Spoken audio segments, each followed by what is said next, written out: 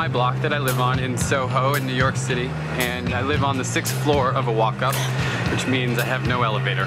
For non-New Yorkers, walk-up is kiss of death. I've always wanted to be a writer. It's the only thing that's ever brought me real, true happiness. So I turned my apartment into a writing office.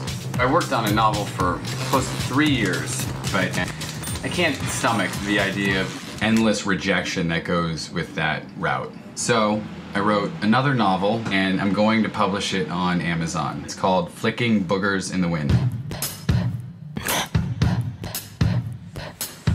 Writing is not enough. I have a ping pong bar that pays my rent. Friday nights we have a special event, so I'm gonna go pick up my girlfriend and we're gonna go to the Dirty Dozen. This is like a video game. Amazing drive. Whoa. Where are you from? Ghana, Africa. What are the rules for driving in Ghana? no. It's Friday night. Our big event, the Dirty Dozen, is beginning in moments. It's the essence, the soul of our ping pong club. This is my favorite, favorite event. Here we are. Are you Susan Sarandon? Yes. Very cool. Honor to meet you, man. I really enjoy your work.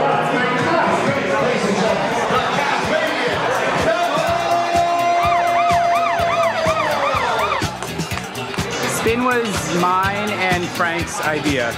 We opened this place five years ago with the help of Susan and Andrew, our other two partners. Financially, the place makes millions of dollars, but ultimately that money doesn't go into my pocket. Because it's going to mine. Yeah, I have too many partners, basically. Were you happy with that? I'm very happy. Just getting a logo. Susan is much older than me and much more successful. It's probably because of that that I've been referred to as her toy boy from the very beginning. Strangely, age is not the issue. It's the success that creates some trouble for me. That was awesome. Morning. This is Brigitte. Hi. She's getting me ready for me to be the editor of Time Out. I thought because you were a movie star, you just woke up and had your hair and makeup done every day. That's not how it works. The streets are lined with gold wherever you go, and you look perfect. You're not resting on your laurels of your book having Come been out. so successful so so. Yeah, my massive success. I ordered a copy, but I haven't gotten it yet. I got it. Here it is. Susan got it already. She has preferential treatment with Amazon as well as the rest of the world. I've always felt embarrassed for you that you were dating me or associated to me in public. No. I am a little bit. Really? Why? Yeah. Well, because I look like a little kid, and uh, I'm not notable for anything, and people expect a lot from you. They feel like you should be dating, you know, someone fabulous. Yeah.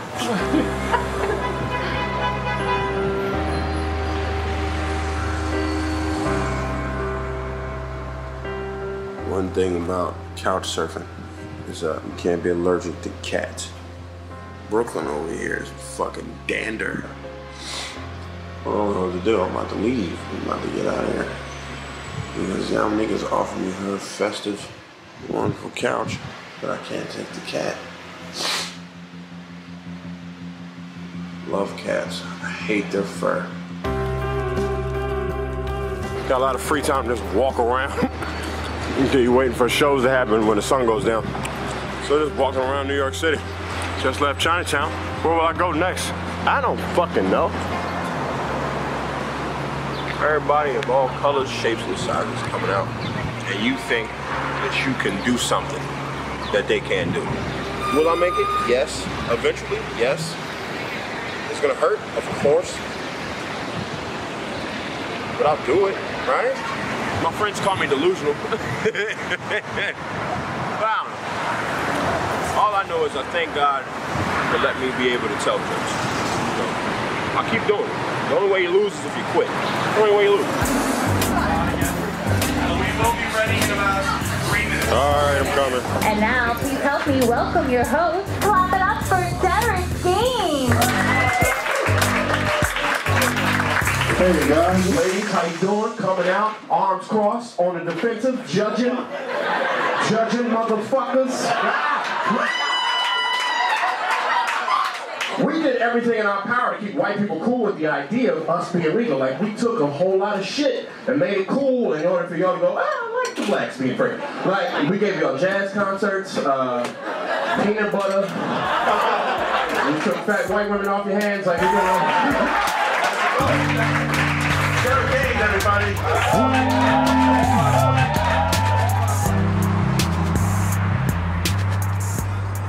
This is how the hustle works, man. I gotta take this back to Philly to go back into Jersey, come right back to New York tomorrow. But goddamn, it was a fun week in New York. I go on stage every night, twice. You gotta come to the realization, like, man, damn. I washed my clothes twice over. I gotta go home. I gotta re-up. Sleep in my own bed. Shower in my own tub. There it is. That's my crib. It's gonna get cold. You really need the other person for body heat. I'm gonna be sleeping naked next to someone I don't know. This is the backdrop of my my room inside my mom's house. Yeah. It's bad. But it's it's my it's my personal kingdom. Dark blue walls, so it's easy to sleep. A nice old school television. Sneakers. Sneakers. Sneakers. What am I working for? All new sneakers. Can I help that I like clothes? Let me be Julia Roberts. Without the prostitution thing. Let me go into a store with a credit card and buy up whatever the fuck I want to wear because that's what you want to do. I want girls to be like, why is he amazing?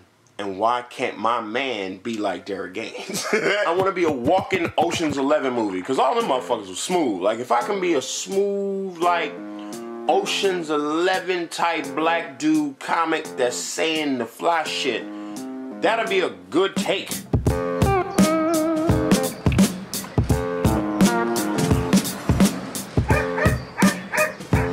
This is how I get ready for my Skype audition. I eat some peanut butter. And then I check myself out. See how pretty I look. Mm, yeah, gorgeous. I think that's a nice perspective on the spiral staircase in the background. I'm gonna have to lock my dogs up though.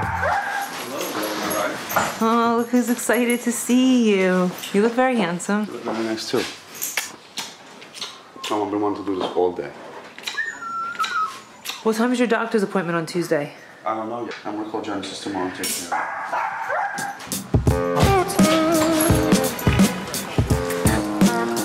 So, Stefano and I are trying to get pregnant. A few months went by and nothing. I got checked out, everything was fine, and the next step was to get him checked out. We found out that he has varicocele. It's like a varicose vein in your testicles. There is a surgery to correct this issue in his balls.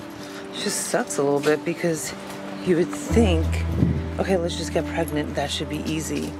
And that's not easy.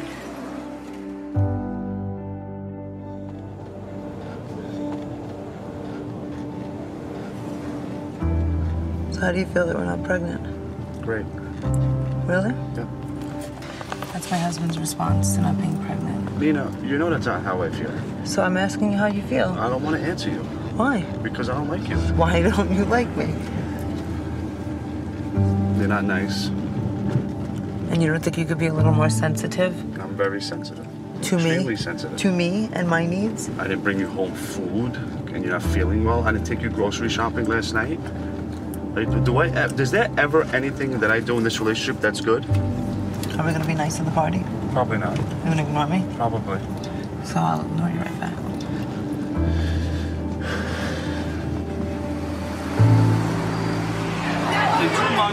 Months, I'll know this woman four years. We have slept apart from each other. I guess maybe twice. I can't be without her. How did we meet? You wanna tell the story? We met at my sister's bridal shower. I was wasted. My brother had to drive the girls to my sister's bridal bridal shower, and then in the afternoon I had to pick them all up. So when he gets back, he's like, Steph, there's a scale of big boobies at the party. He said big tits. So I get out of the car and I see. He sees boobs. and uh, I say hello. He's like, hello, I'm Stefano. I give her a ride home. She gives me a number, but I don't call her. I just a week before my sister's wedding, I'm out on a date. With a whore. I'm going out to smoke a cigarette, and Nina tackles me. and I guess from the next day, ever since we've been together. Every day.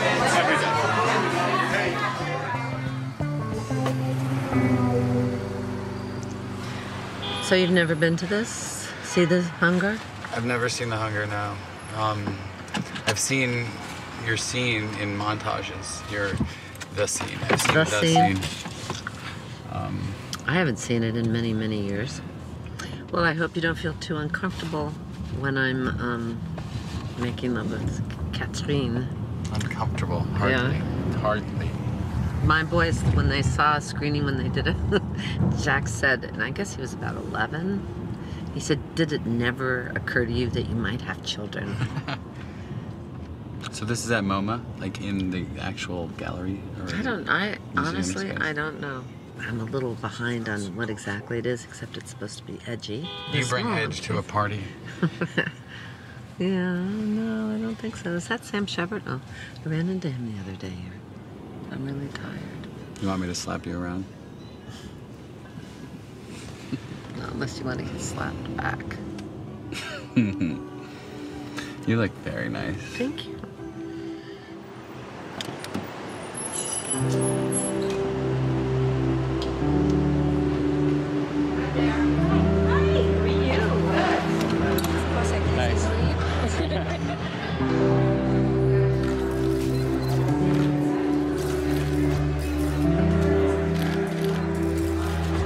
Typical date night with Susan and I and hundreds of her adoring fans. At least tomorrow we're going to the only place in the world where we can get some peace and quiet.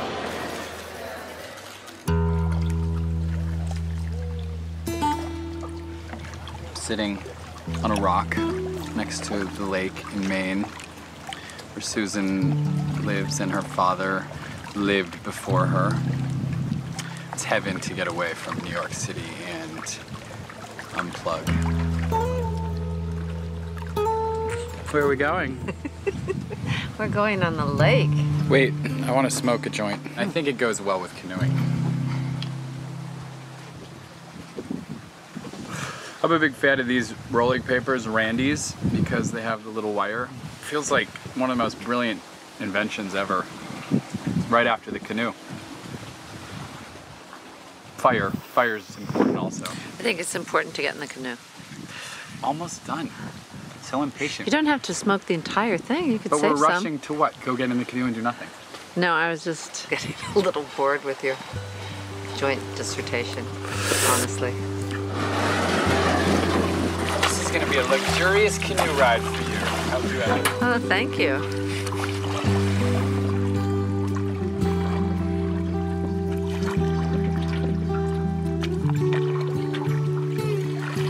Like Susan's right. I am. Are you really? Yeah. Well, I did love Just gonna see you. Hi. Jeff! Oh. Sorry.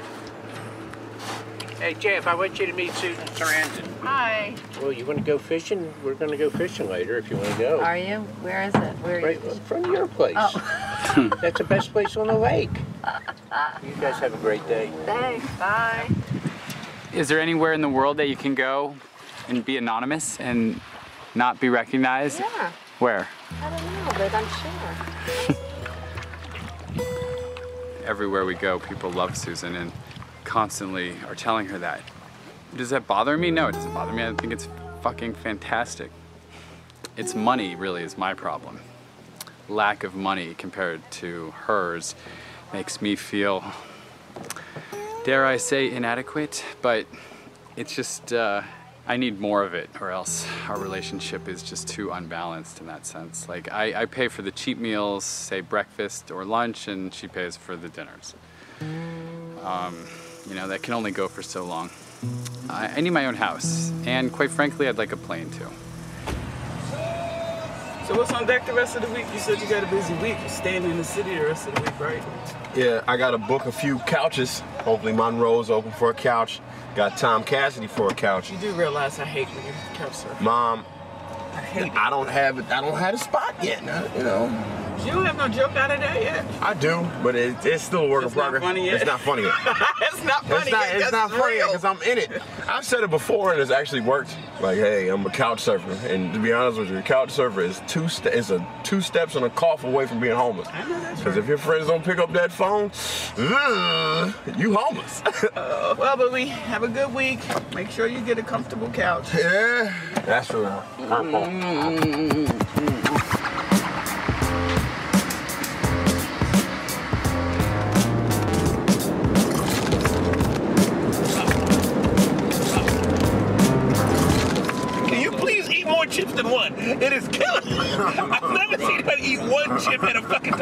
time. There's a Can bag full of chips? thousand Can I chips. Do you see eat this? the garlic bread? There's one chip being eaten at a time, no matter how big and small this chip is.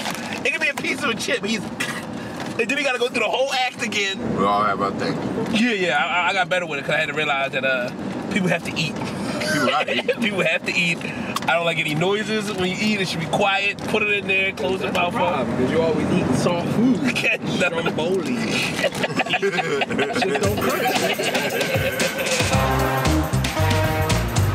New office building for my management company. They're doing good. They're doing big things. They got a Jew and an Italian guy. They got phones now, right?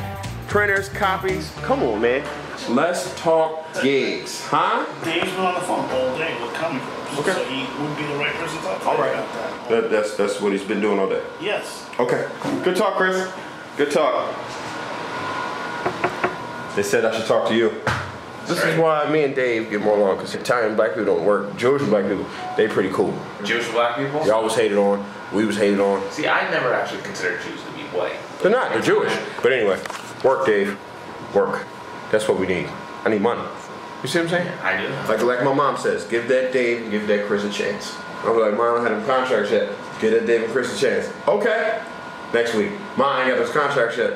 Give that David and Chris. Why do I you got not have the contract? I'm not saying that y'all not legit. Okay. But this snail motion to the hustle is just tough. It's not an art. I'm working on patience, but it's tough.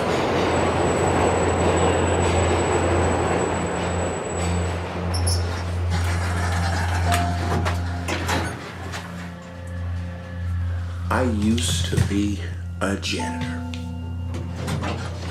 I used to be a janitor. And when I was a janitor, everybody there was content with being a union worker. When it was time for me to go, okay, guys, I want to be a comedian, they looked at me like I was fucking stupid.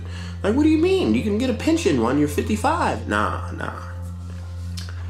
I'm gonna do stand up. It's gonna make me cry. It's gonna make me suffer. It's gonna make my faith waver. But I'd rather do that than clean up people's shit. That's just that's real. Or get a raise and be a truck driver and and and fucking salt the highways every winter. Nah, I'm cool. It's not nothing wrong with that. But I'm finally walking up to the pretty, pretty, pretty girl that I was always afraid to talk to in high school. I could never do that as a kid. I'm finally going. All right, I can do this. Don't doubt yourself. Just go.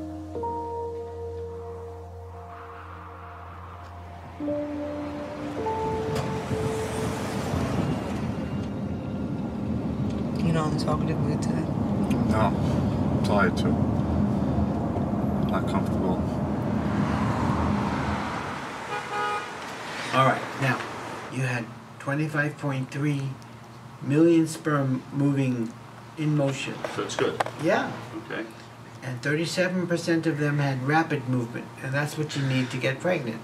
But here's where the meat and potatoes very high number of abnormal forms. Only 19% of the sperm looked normal. Don't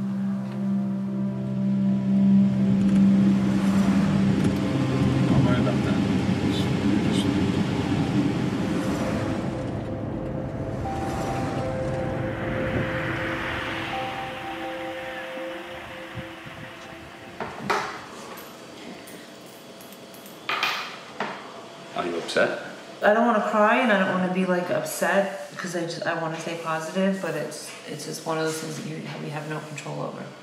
It's a lot of waiting, like pee on a stick for seven days, then have sex, then wait, and then hopefully you don't get your period, and then get your period, and then pee on a stick, and it's very exhausting. Listen, you have to support me. How do you think I feel as a man not being able to get a girl pregnant? You're 100%. You're healthy, you're beautiful, your body's not that of a woman your age. So, if we have to wait another month, I, I think. I'm just like I just wish that it would just happen. Uh, and it's gonna happen. The rate of success after this operation is like 99.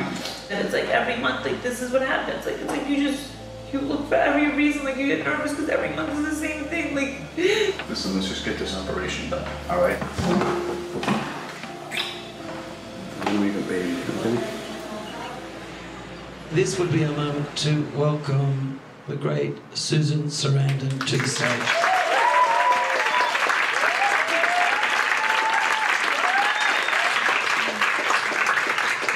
Maybe I should ask you a question, Susan, because I've been dying to ask you this. What is the enduring power that the film has upon the young and continuing generations? Why does it do that? Don't dream it, be it, I think. Is it, you know, at a time when you're in a place that you feel is really controlling and a mouse is just um, a mouse. The Rocky Horror Show. And that was just the excuse I needed to get the hell out of there. I needed some air.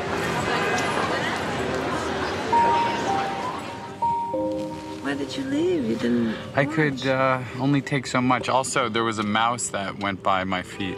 What do you mean you could only take so much? Um, because I was standing and, uh, so I had to go outside.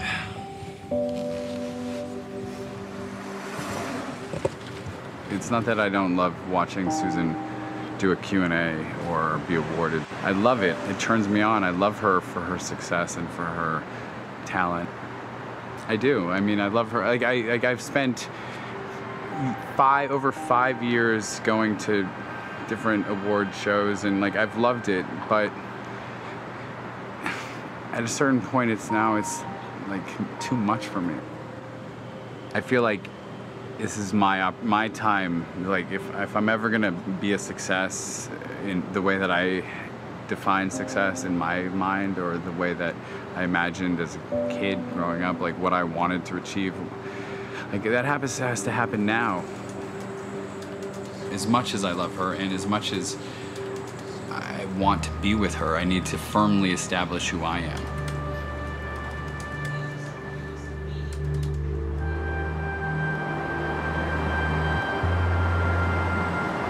So you're going with me to Jersey uh, that week, right? Yes. I like that. If you're not on tour or you're not off doing some comedy stuff, and I don't want to get attached to you if I'm not going to see you in the next month. This this is getting okay. Whatever. I just want to work and make money. I gotta go get big, man. I want you to. Yeah. I want you to be successful. I want you to be big. But I just know that that's going to be a big wedge between us. Would you rather me be a couch surfer the rest of my life? No. I go out, work hard. Then I can buy an apartment that me and you can both stay at. Do you understand that? Not live with me, but you can stay for a while. Right? Until the next girl comes in so you can stay with her three days. What next girl? I wouldn't do that. But I don't want to look that far in the future right now. Can we just focus on what's going on right here, right now? This is nice. You have your legs on my knees, and I like it. You have cute feet, by the way, which I will eat. Mm.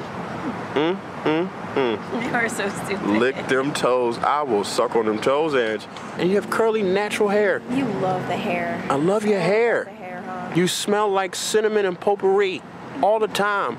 Can we make love, please? Can we just? Can we just start boning? Ah. No, because what happens is is that the problems get worse when you bone. They get more emotional when you bone. Okay, all right.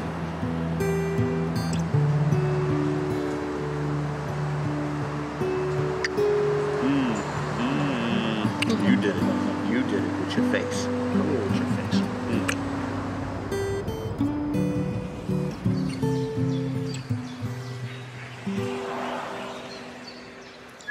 Good morning. It's Sunday at 8 in the morning, and I just took a pregnancy test, and from what this says, it says that we're pregnant. Are you excited? I'm very excited. I feel like it's, uh. I don't know what to feel. I don't know if I feel really excited or nervous or not sure. Don't get excited until we go to the doctor. Don't get excited until we go to the doctor. But it's a beautiful thing. We might be parents. The worst parents in the world award goes to. We're going to Mama Mannino's, and I think we should tell her. No, don't tell her. I can't. I can't. You can keep the secret. Look at you. I can't wait. Not tell nobody. Best friend, no one. We made a pact. Tell your mom. We're pregnant. No. We went to the doctor today. no, we're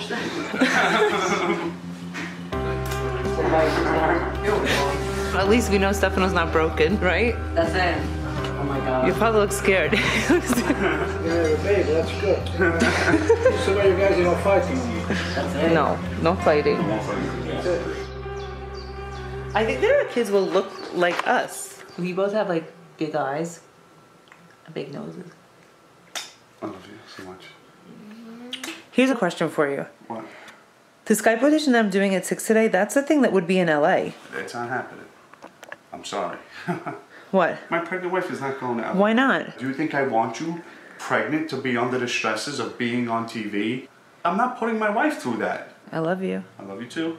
How much? I love you a lot. How much? I'm not doing that. I'm not. I'm not. If I have the option, I would put you in a bubble for 10 months. What would you do in a bubble? Okay, not let you leave the apartment for 10 months, but I know that that can't be. Things change in life. I'm sorry. Thanks for watching Connected. Make sure you subscribe to AOL Originals for all new episodes and exclusive behind the scenes footage.